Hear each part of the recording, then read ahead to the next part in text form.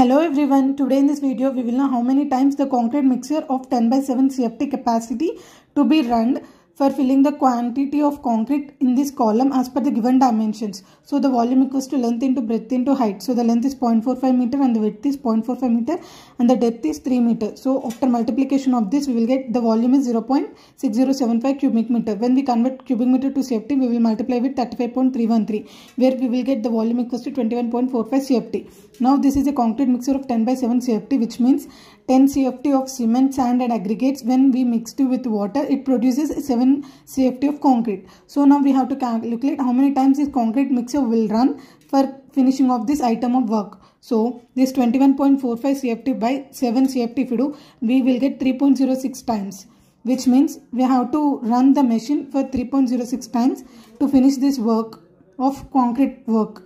So if you all like this video please follow like share and subscribe.